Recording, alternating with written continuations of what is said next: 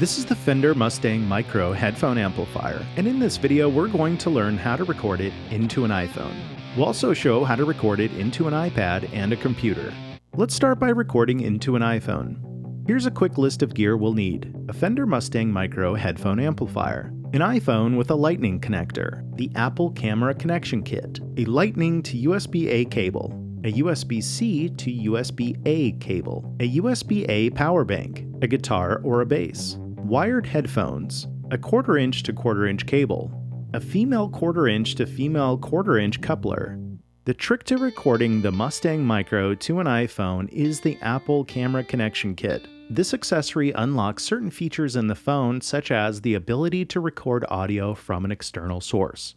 Yes, non Apple branded versions of this accessory can be found online, but not all of them work. For reliability, we're using the official Apple accessory.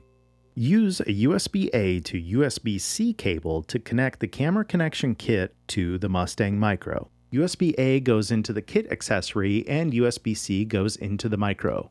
Since the Micro charges over USB C, it will pull power from the phone. To avoid any issues, connect an external power source. A wall charger works, but a USB power bank offers more portability. Use a USB A to Lightning cable to connect the camera connection kit to the USB power bank. USB A goes into the power bank and the Lightning connector goes into the camera connection kit. Connect the camera connection kit to the phone via the Lightning connector. Now you can connect the Mustang Micro directly to a guitar or a bass via its built-in quarter inch connector. Pro tip, using a coupler allows the micro to be detached from the instrument and conveniently placed elsewhere. Connect a quarter inch female to quarter inch female coupler onto the quarter inch connector of the Fender Micro. Connect a quarter inch cable to the other end of the coupler, and connect the other end of the quarter inch cable into the instrument. A note about audio monitoring. You may be tempted to use Bluetooth headphones. Just know that there's an inherent latency with Bluetooth. Instead, let's monitor directly from the Mustang Micro via its headphone output. Turn on the Mustang Micro. On the iPhone, we can now record into any app that will accept an external audio source.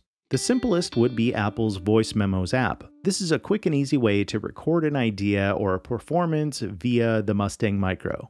Open the Voice Memos app. Let's confirm that audio is coming from the micro and not the built-in microphone. Start a recording on the app and snap your fingers to test the microphone. The recording should be silent. Now play some notes on the instrument and the screen should show the recording. Okay, stop the recording. From here, we can use apps like GarageBand, Cubase LE, or Beatmaker 3 to record guitar or bass as a track in a song. Let's show how to record the Mustang Micro into an iPad.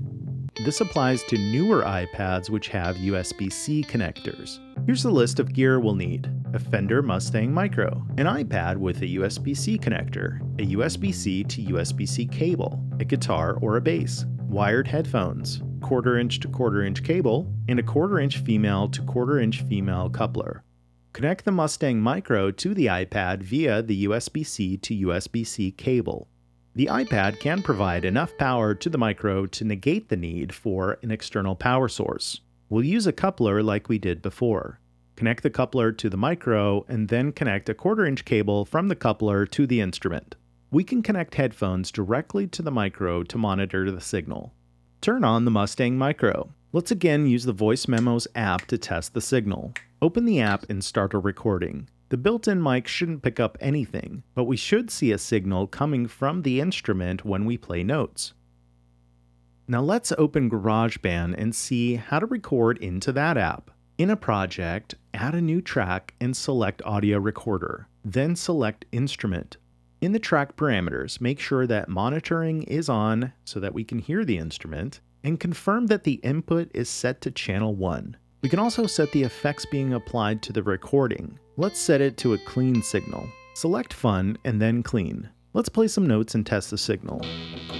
We should hear the instrument through the iPad speakers. We can now record the instrument. Now let's show how to record the Fender Mustang Micro into a computer. Here's a list of gear we'll need. A Fender Mustang Micro, a computer with a USB connector, a USB-C to USB-C cable, or a USB A to USB C cable, depending on your computer, a guitar or a bass, wired headphones, a quarter inch to quarter inch cable, a quarter inch female to quarter inch female coupler. Connect the Mustang Micro to a computer via a USB cable. In this example, we're using an Apple MacBook Air, which has USB C ports. If your computer doesn't have USB C ports, like this older MacBook Pro, use a USB A to USB C cable to make this connection. We'll use a coupler to make the connection between the Mustang Micro and the instrument via a quarter inch to quarter inch cable. Turn on the Mustang Micro. Let's connect headphones to the computer's headphone output to monitor the signal. In the computer, open a DAW or any software that records audio. In this example, we're using Ableton Live but the process should be similar with other software. In Ableton, open Preferences and go to Audio. Click on the Audio Input Device dropdown and select Fender Mustang Micro. For the audio output, we could select the computer speakers. Instead, select the computer's headphone output as the output device, and close the Preferences window when finished. Create a new audio track and select the Mustang Micro as the input. Here it's input 1 arm the track, and turn monitoring on. If we play some notes on the instrument, we should see a response in level on the track's meter, and we can hear it through the headphones. Now we're ready to record. Please like and subscribe if you've learned something. Share this video with a friend, and check out the links below to support this channel. Thanks for watching! Bonus tip, add a tuner to the audio track to tune the instrument.